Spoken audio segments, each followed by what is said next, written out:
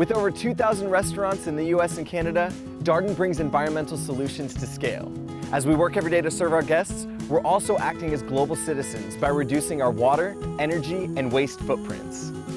Here at the Restaurant Support Center in Orlando, Florida, we've installed nearly 4,500 solar panels. That's enough to produce 20% of the power it takes to run this building annually.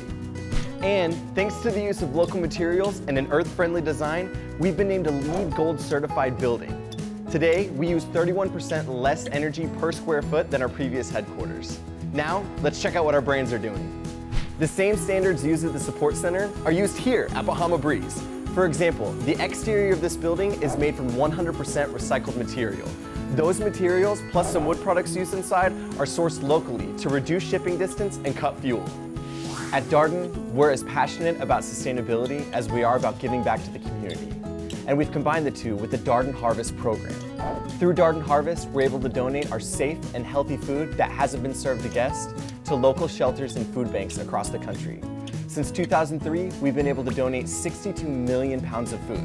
That's food that fed mouths, not landfills. As you can imagine, Olive Garden cooks a ton of pasta. So to help control how much water we use, we've installed valves on each of the pasta cookers that carefully control the water flow on account of the evaporation and water freshness.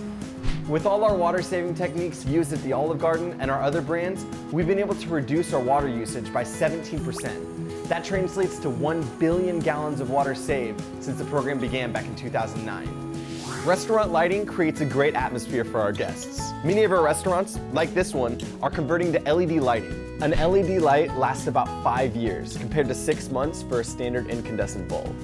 On average, they use about seven watts of energy compared to 62. We're converting more and more restaurants to LED lighting every day. With this, along with many other energy saving techniques, Darden's been able to reduce its energy usage by 8% since 2009. When we all come together, we can do big things for our planet. So join Darden and make this Earth Day the start to a sustainable future.